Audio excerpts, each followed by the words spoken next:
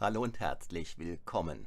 In diesem Video wird es um eines meiner Kernthemen überhaupt gehen, um das Thema Lebensvision, Lebenstraum, Finden und Leben. Hallo und herzlich willkommen. Mein Name ist Matthias Schwem und ich bin Selbstbewusstseinstrainer seit 1997. Meines Erachtens geht es in diesem Livestream um eine der grundlegendsten Fragen, die sich ein Mensch stellen kann, überhaupt. Und daraus resultierend um eine der möglicherweise weitreichendsten Entscheidungen, die ein Mensch, die du treffen kannst. Bei mir war es so, ich hatte recht früh zwei klare Ziele für mein Leben, die eine sehr geringe Schnittmenge hatten. Einerseits wollte ich was in Richtung Gartenbau mit Schwerpunkt Gartenteichbau machen oder Informatiker werden. Und letzten Endes hat dann die Waage ausgeschlagen in Richtung Informatiker. Und ich habe sozusagen ganz normal den akademischen Weg eingeschlagen. Und nachdem ich sechs Semester Informatik studiert hatte, war mir klar, dass ich genug Wissen habe für das, was ich vorhatte in Sachen Informatik zu tun.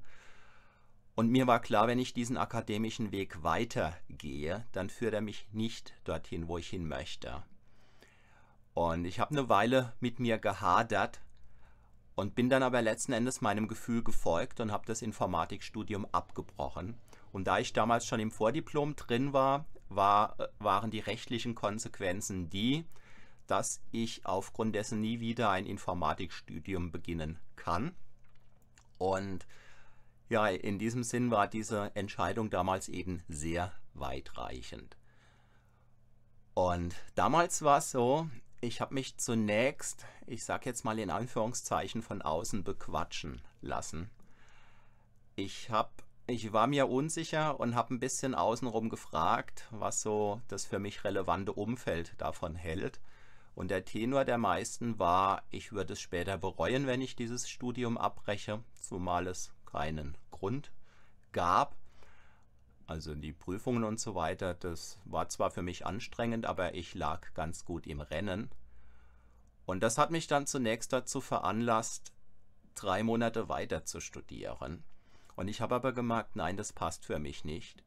Und um nicht wieder in die Versuchung zu kommen, andere zu fragen, habe ich dann einfach Nägel mit Köpfen gemacht und habe mich exmatrikuliert und habe dann meine Entscheidung den anderen mitgeteilt. Und zwischendrin hatte ich immer so wieder in mich hineingehört mit der Frage, werde ich das irgendwann bereuen? Und die gefühlte Antwort war nein. Dennoch war ich nicht so ganz im Reinen mit mir, aber gefühltermaßen war das die richtige Entscheidung. Ja, ich habe mich selbstständig gemacht, beziehungsweise hatte mich zuvor, ein Jahr zuvor schon nebenberuflich selbstständig gemacht, habe diese Selbstständigkeit dann ausgeweitet. Und mir war klar, dass ich meinen Lebenstraum noch nicht lebe. Und ich habe meine Berufswahl immer sehr bewusst getroffen und habe die Berufswahl, wie du vielleicht weißt, immer auch wieder neu justiert. Am Anfang meiner Selbstständigkeit ungefähr im Halbjahresrhythmus. Klar war für mich, es kommt nur eine Selbstständigkeit in Frage. Unklar war, was, wie genau. Und so habe ich einfach getestet und habe jeweils das Naheliegende genommen, um es dann gegebenenfalls anzupassen. Und nachdem ich meine Tätigkeit zwei, drei, viermal verändert hatte, hörten die Nachfragen in meinem Umfeld auf, was ich denn beruflich so tue, weil nach einem halben Jahr war es wieder ganz was anderes. Ja, und ich selbst hatte auch die Befürchtung, vielleicht nie zum Punkt zu kommen. Und ich habe mir immer wieder, immer wieder, immer wieder die Frage gestellt, was will ich wirklich und dauerhaft? Und bei mir war es eben nicht so, dass ich keine Antworten gefunden hätte, sondern ich habe x Antworten gefunden. Und für mich war dann einfach die Frage, woran mache ich denn fest, was jetzt wirklich meins ist? Und im Laufe der Jahre habe ich dann x Techniken entwickelt, mit denen ich mittlerweile Menschen ganz, ganz schnell dabei helfen kann, ähm, sodass sie selbst relativ schnell herausfinden können, was wirklich ihrs ist. Aber das ist eher so eine Nebenbemerkung. Und ich war einfach fest entschlossen, mein Leben zu leben. Und jetzt war es bei mir so, ich habe recht früh geheiratet und mit meiner damaligen Frau hatte ich dann zu einem bestimmten Zeitpunkt drei Kinder. Und meine damalige Frau und ich, wir hatten, so würde ich das beschreiben, so eine Art wechselseitiges Umerziehungsprogramm laufen. Mein Ziel war, aus meiner damaligen Frau eine gute Unternehmersehefrau zu machen.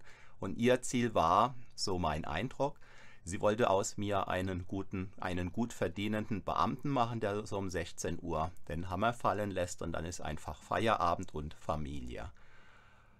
Familie war für mich ganz wesentlich, ganz wertvoll, ist es nach wie vor, ist im Wert eher gestiegen. 16 Uhr Feierabend, das war noch nie meins. Und irgendwann ich war mit dieser Frau dann 13 Jahre insgesamt zusammen, war mir klar, diese Ehe, die hat keine Zukunft. Und die Trennung, die war mir mehr als schwer gefallen, zumal meine Kinder damals erst drei, sechs und acht Jahre alt waren und ich eben nicht wusste, wie das weitergehen wird. Aber ich habe letzten Endes ganz, ganz tief in mich hineingespürt, und bin dann diesem Impuls gefolgt. Und dann ist eine Zeit gekommen, die war deutlich schwerer als gedacht und sie hat auch länger gedauert als gedacht. Aber letzten Endes habe ich dann irgendwann so meinen inneren Frieden wieder gefunden und habe gemerkt, dass ich praktisch in einem ganz neuen Leben bin, nämlich noch mehr in meinem Leben. Und auf einmal haben sich die Dinge beschleunigt.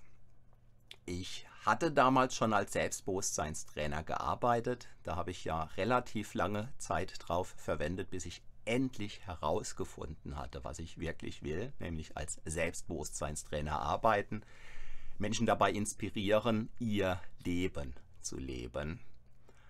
Und plötzlich war der erste gewerbliche Großauftrag da, ohne das ich akquiriert habe.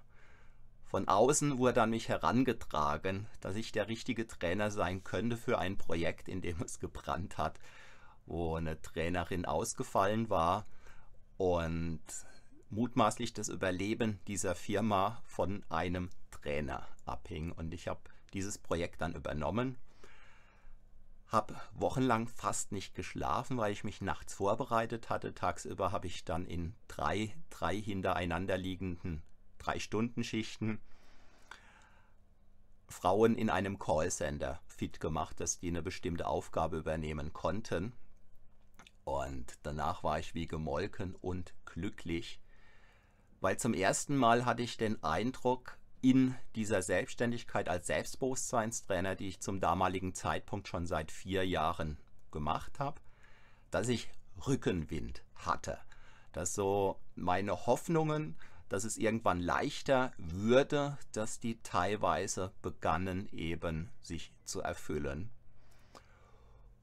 Und nach diesem Auftrag, der ging dann irgendwann rum, dadurch, weil ich gemerkt habe, diese Firma, die zahlt irgendwie immer sehr ähm, ja, langsamer. Und letzten Endes habe ich mir dann einen Rechtsbeistand geholt, um dann die ausstehenden Honorare einzuklagen. Und damit war klar, ich von dieser Firma keine weiteren Aufträge bekommen. Das war aber okay.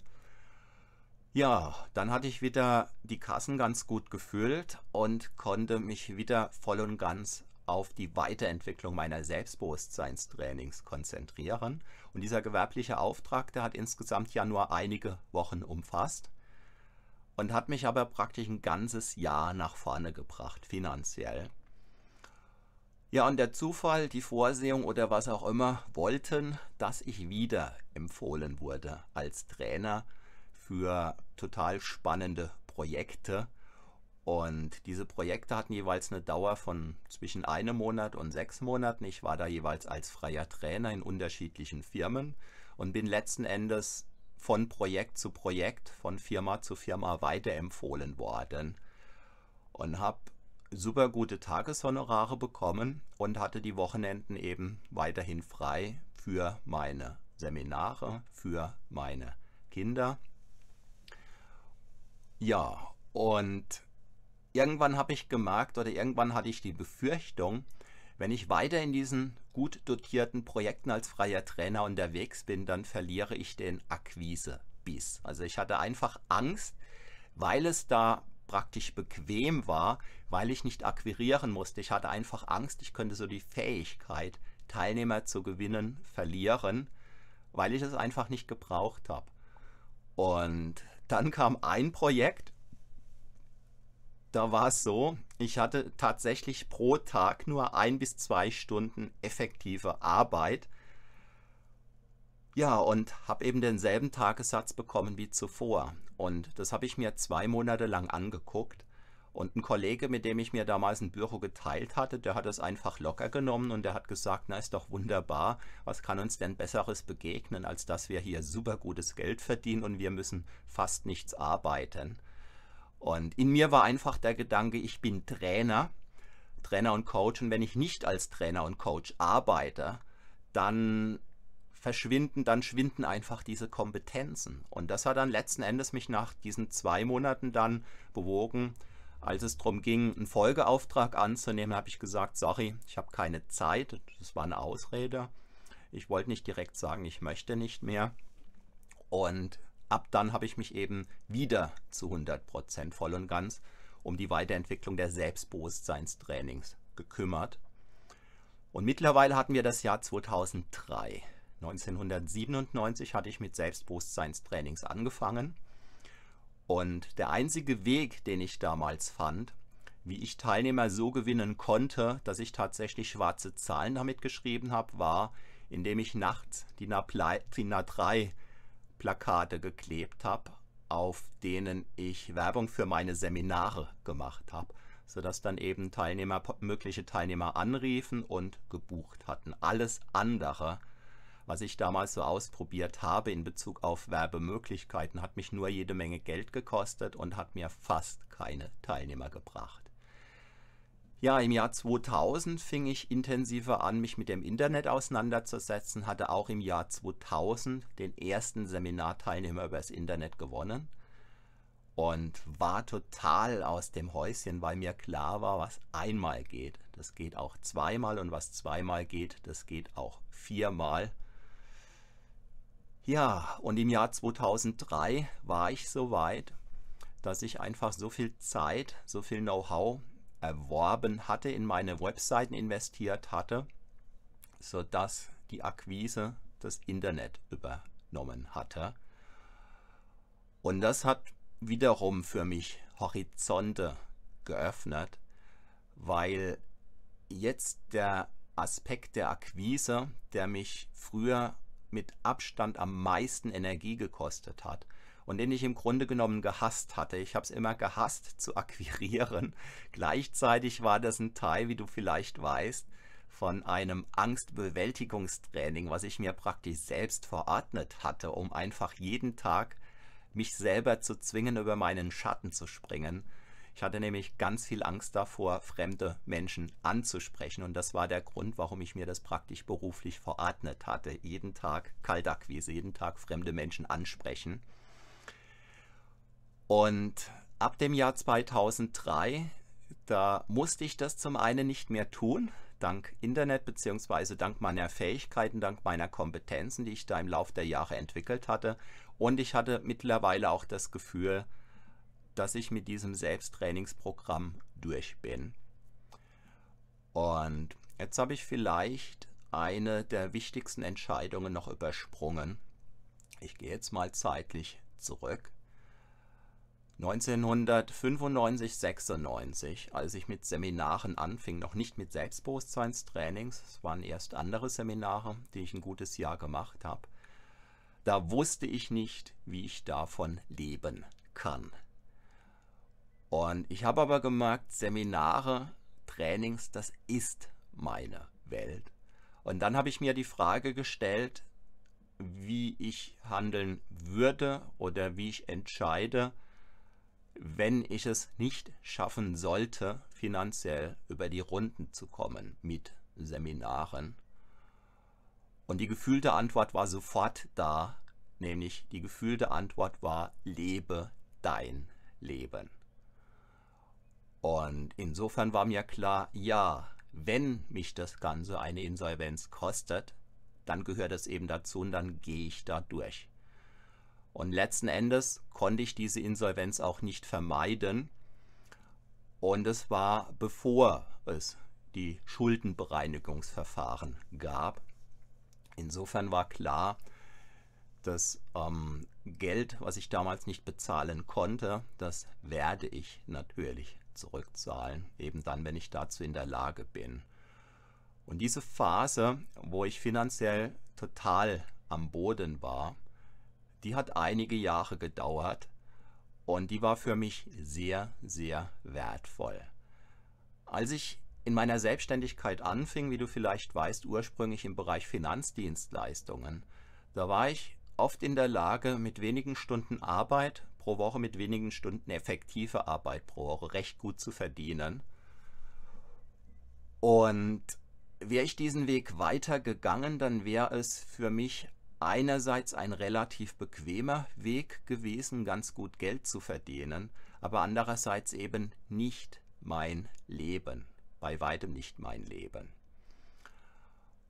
Und die Insolvenz, die hat mich finanziell auf den Boden der Tatsachen geholt und auf einmal habe ich gemerkt, wie kostbar es sein kann, genügend Bargeld zu haben, um sich eine Tasse Kaffee in einem Café kaufen zu können.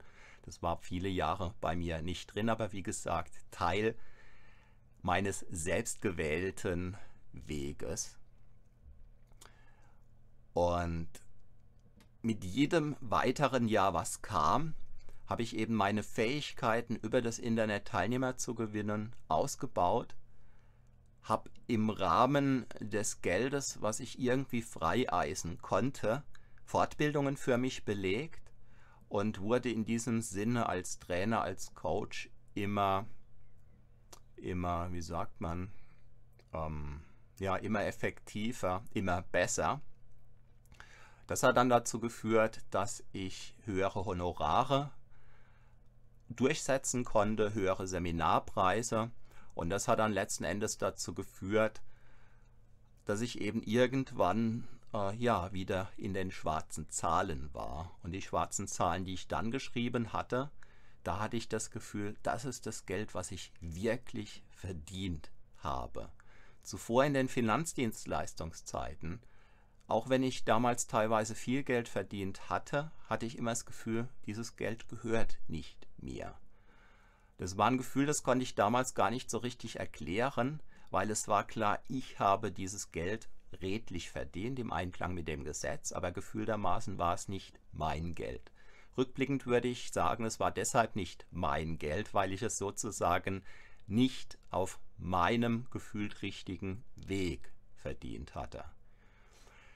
Ja, und als ich dann mit den Seminaren irgendwann dauerhaft in den schwarzen Zahlen war, da war es für mich gefühlt ein riesengroßer Luxus, mir einfach eine Tasse Kaffee kaufen zu können. 2,50 Euro über die Theke geschoben und mir einfach einen Kaffee gegönnt. Und ein hammermäßiger Luxus war es aus meinem Erleben heraus, noch eine zweite Tasse Kaffee zu trinken oder noch eine dritte Tasse Kaffee. Und diese Bewusstheit, die habe ich mir bis heute erhalten und insofern gehört es nach wie vor für mich heutzutage zum gefühlt höchsten Luxus, eine Tasse Kaffee mir irgendwo zu kaufen und die einfach ganz bewusst zu genießen. Ja, die Phasen, über die ich jetzt so gesprochen habe, das waren sicherlich die für mich wichtigsten, die für mich wertvollsten, die für mich prägendsten. Meine drei Kinder aus erster Ehe, die sind mittlerweile alle erwachsen, gehen ihren Weg. Und meine damalige Befürchtung, die könnten, sie könnten unter die Räder kommen, die ist zum Glück nicht eingetroffen. Wobei, ähm, ja, äh, ja, ich überlege gerade, aber ich möchte jetzt dazu nicht mehr sagen, sonst würde es in die Intimsphäre von der einen oder anderen Person hineingehen. Deshalb lasse ich das jetzt da stehen. Ähm, wie du vielleicht weißt, unser Grundgesetz regelt im Artikel 2, jeder Mensch hat ein Recht auf die freie Entfaltung seiner Persönlichkeit. Und da steht Recht, nicht Pflicht. Und mein Eindruck ist, viele Menschen glauben oder tun so, als gäbe es so eine Art Pflicht, von 8 bis 4 im Büro zu sein oder so. Und wenige Menschen nutzen, so ist zumindest mein Eindruck von außen, ihr Recht auf ihr Leben. Damit sage ich nicht, das eine ist gut und das andere ist schlecht, sondern das ist so mein Eindruck von außen. Und im Laufe der Jahre ist mir sehr bewusst geworden, der einzige Mensch, der eben diese Entscheidung trifft, bewusst oder unbewusst, ist und kann nur der Betroffene eben sein. Für den Fall, dass du das Gefühl haben solltest, noch nicht auf deinem Weg zu sein, dann gibt es drei oder vier Aspekte, auf die ich dich sehr bewusst aufmerksam machen möchte, gleich nach einem Schluck Kaffee, den ich auch sehr bewusst trinke, auch wenn der keine 2,50 Euro kostet.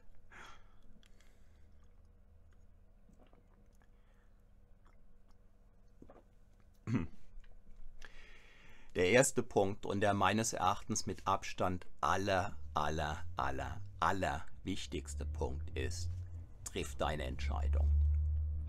Und meines Erachtens gibt es nur eine mögliche, nur eine sinnvolle Entscheidung, nämlich die Entscheidung, das eigene Leben zu leben. Klammer auf, koste es, was es wolle, Klammer zu. Weil ganz viele Menschen sind schnell dabei, dass sie sagen, ja, ich möchte mein Leben leben und dann kommt sofort das Aber. Und egal was danach kommt, ist die Gesamtaussage dann letzten Endes die Nein. Das hört sich vielleicht krass an, aber das ist mein Eindruck, das ist meine Überzeugung. Denn alles, was hinterm Aber kommt, ist ein sich in irgendeiner Form abhängig machen von etwas Äußerem. Und das bedeutet dann nach meinem Verständnis, dass dieses andere, dieses Äußere wichtiger ist. Und wenn ich sage, nur wenn dieses Äußere, dieses andere funktioniert, dann lebe ich mein Leben. Dann sage ich im Grunde genommen, ich stelle mein Leben hinten an. Und nach meinem Verständnis ist es eben keine Form des das eigene Leben Lebens. Ja, damit sage ich nicht, das ist gut oder schlecht, aber meine Überzeugung ist einfach die, es gibt nur eine mögliche Entscheidung und die lautet eben, ich lebe mein Leben. Punkt. Das hört sich egoistisch an und das ist auch egoistisch, aber nach meiner Überzeugung nach ist es nicht kalt egoistisch, sondern ich erlebe es als weise egoistisch. Der weise Egoist ist ein Mensch, der weiß, nur in dem Maße, wie er sich selbst liebt, kann er andere Menschen lieben. Nur in dem Maße, wie er sich selbst vertraut, kann er anderen Menschen vertrauen. Nur in dem Maße, wie er sich selbst durch sein Leben inspiriert, kann er andere Menschen inspirieren und so weiter. Und natürlich hat es seinen Preis, einen Schnitt in seinem Leben zu machen, definitiv. Und würde man das nicht tun, dann beständen die Opportunitätskosten eben darin, dass man sich selbst um sein Leben bringt. Das heißt, so oder so, nach meinem Verständnis, muss man einen Preis zahlen. Entweder dafür, dass man sein Leben nicht lebt, dann zahlt man meines Erachtens immer den höchsten Preis, nämlich dadurch, dass man auf sein Leben verzichtet. Und im Regelfall hat sich ein Mensch in seinem Leben ja eben nicht zu 100% nach seinen Vorstellungen eingerichtet, sonst stünde er ja gar nicht vor der Entscheidung, sein Leben zu leben. Das ist meines Erachtens immer Schritt 1, die unbedingte Entscheidung, Ich lebe mein Leben. Punkt. Und damit wir uns an dieser Stelle nicht falsch verstehen, ich sage dir und keinem anderen Menschen auf diesem Planeten, er sollte sein Leben leben. Dann wäre ich anmaßend, dann würde ich sowas wie deinen Übervater oder deine Übermutter einnehmen, ohne dass mir das zustünde. Und insofern der einzige Mensch, und dazu komme ich gleich nochmal drauf, der diese Entscheidung gegebenenfalls treffen kann, bist du selbst. Aber wie gesagt, dazu gleich später. Also Schritt 1, die Entscheidung treffen. Ich lebe mein Leben. Schritt 2, suchen, herausfinden, was dein Leben ist. Denn da du, wie alle anderen sieben Milliarden Menschen auf diesem Planeten, da du ein Individuum bist, wirst du kein Buch auf dieser Welt finden, was dir beschreiben kann, was dein Weg ist. Du wirst auch kein Seminar finden, in dem dir jemand sagen kann, was dein Leben ist. Und nach meinem Verständnis kannst du auch jahrelang barfuß durch irgendeine indische Wüste laufen auf der Suche nach irgendeinem Guru, und der kann dir nach meinem Verständnis auch nicht sagen, was dein Leben ist. Und ob du jemals herausfindest, was dein Leben ist, das kann ich dir auch nicht sagen. Und das kann nach meinem Verständnis dir auch sonst niemand auf diesem Planeten sagen. Aber der Einzige, der diese Suche durchführen kann, bist nach meinem Verständnis du. Das ist also der zweite Aspekt. Sorge dafür, dass du herausfindest, was du wirklich, wirklich, wirklich willst. Und was es dazu nach meiner Erfahrung zwingend braucht, ist einfach die Dinge auszuprobieren. Sagen wir mal, das ist jetzt ein Beispiel, ähm, ein stark vereinfachendes Beispiel. Sagen wir mal, gefühltermaßen möchtest du auf Ibiza Gitarre spielen für den Rest deiner Tage. Na, dann ist es vielleicht naheliegend, für eine Zeit ähm, in Deutschland deine Wohnung dicht zu machen, vielleicht aufzulösen, je nachdem, dir eine Gitarre zu kaufen, nach Ibiza zu fliegen, ja, und dein gemutmaßtes neues Leben zu leben. Und wenn du nach einer für dich passenden Zeitspanne herausfindest, das ist es, ja, dann bist du eben da, wo du hin möchtest.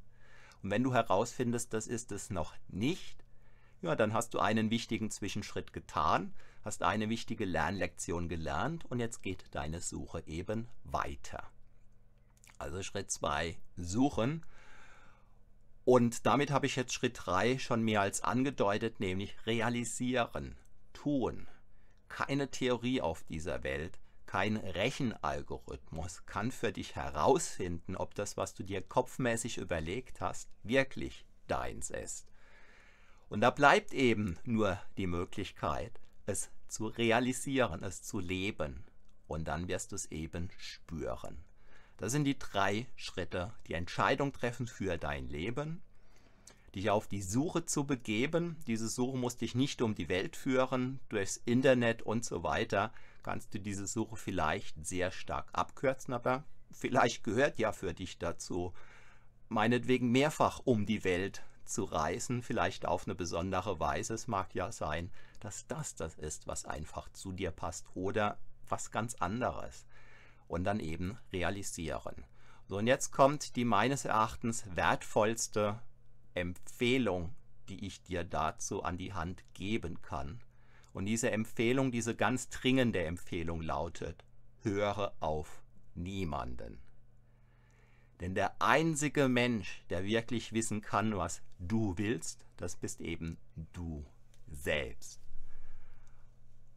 Und alles andere, was dir die anderen sagen können, das sind eben deren Meinungen. Und wenn du deren Meinungen folgst, dann stellst du praktisch deine eigene Verantwortung für dein Leben hinten an und du stellst letzten Endes dein Leben hinten an. Und um dein Leben leben zu können, brauchst du eben die Fähigkeit, die Bereitschaft, die Entscheidung zu deiner Verantwortung als freier Lebensunternehmer zu stehen. Und freie Lebensunternehmer machen Fehler und sie lernen daraus. Und sie machen aber Fehler, um daraus lernen zu können. Sie machen nicht die Fehler der Fehler halber, sondern wenn man seinen Weg nicht kennt, wenn du deinen Weg nicht kennst, ja, dann kannst du dich ein Stück vorantasten und, und einfach nachspüren, passt dieses Stück deines Weges. Wenn ja, hast du gelernt, dieser Weg führt zumindest momentan in die richtige Richtung und dann kannst du gucken, ob es Sinn macht, das nächste Wegesstück in dieselbe Richtung zu gehen oder in eine etwas andere Richtung. Und solltest du feststellen, das kurze Wegesstück, was du gerade gegangen bist, passt nicht, dann hast du eben gelernt, dieses Wegesstück passt im Moment nicht. Und damit ist klar, dass du diesen Schritt jetzt nicht nochmal wiederholst, sondern dass du eben einen anderen probierst. Und sinngemäß kannst du dich so Stück für Stück nach vorne arbeiten. Und manchmal hast du vielleicht Weitblick und siehst, spürst, erahnst, was so für eine ganze Weile deins ist. Und manchmal mag es sein, dass du noch nicht mal siehst, weißt, spürst, was so für den nächsten Tag ansteht. Und was dann ganz nützlich ist, was dann ganz wertvoll ist, das, ist einfach Vertrauen, Selbstvertrauen, dir zu vertrauen, in dein Schicksal, in die Vorsehung. Menschen, die an Gott glauben, ja, die finden da eben Zuversicht und Menschen, die eher an die Natur oder woran auch immer glauben, die finden eben da dann ihren Halt, ihre Souveränität, ihre Stabilität und können sich eben auf das Vertrauen zurückziehen, wenn der Kopf im Moment kein ja, Futter hat oder sinnvollerweise gerade nichts futtert oder so. Ja, als ich vorhin ganz kurz geguckt habe, dieser Artikel im Grundgesetz mit dem Recht auf die freie Entfaltung der Persönlichkeit, dass das Artikel 2 ist, das wusste ich nicht mehr, bin ich noch auf einen Satz gestoßen, den ich mir kurz aufgeschrieben habe. Deshalb gucke ich hier auch gerade nach unten. Dieser Satz lautet sinngemäß, im Rahmen der humanistischen Weltanschauung gehört die eigene Persönlichkeitsfaltung, Entfaltung zum höchsten Gut. Und dass das so niedergeschrieben stand, das war mir gar nicht bewusst. Ja, damit bin ich mit dem, was ich jetzt sagen wollte, durch. Ich weiß, dass dieses Thema sein Leben zu leben sehr konträr diskutiert wird. Die einen tun's und strahlen und würden tendenziell oder werden tendenziell unter dieses Video einfach nur ein großes Ja, vielleicht mit einem Smiley schreiben. Und ich weiß, ganz, ganz viele Menschen sind sofort kritisch dabei, eben mit Begriffen nach mir zu werfen, die so in Richtung Egoist und rücksichtsloser und sowas zielen. Und ich weiß, dass das so ist. Und ich finde es zwar nicht gut, aber ja, nach meinem Verständnis hat eben jeder Mensch nicht nur ein Recht auf sein Leben, sondern insbesondere eben ein Recht auf seine Meinung. Und in diesem Sinne respektiere ich das, ja, und bin einfach gespannt, was du mir unter dieses Video schreibst. Schreib mir gerne deine Fragen, Schreib mir deine Erlebnisse, schreib mir gerne auch von deinen Befürchtungen und schreib mir vor allem auch von deinen kleineren oder auch größeren Erfolgen. Und falls ich dich ein bisschen inspirieren konnte mit diesem Video, dann freue ich mich ganz besonders auf dein Daumen hoch. Falls noch nicht geschehen, abonniere diesen Kanal Momentan gehe ich jeden Abend um 21 Uhr live auf Sendung, freitags bereits um 16 Uhr. Ich freue mich sehr, wenn du auch morgen wieder dabei bist. Ich bedanke mich recht herzlich für deine Aufmerksamkeit und wünsche dir noch eine gute Zeit. Bis dahin. Mein Name ist Matthias Schwem.